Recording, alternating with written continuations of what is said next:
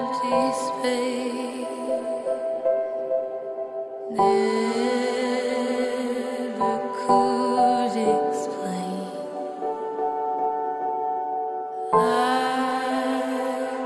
You were erased.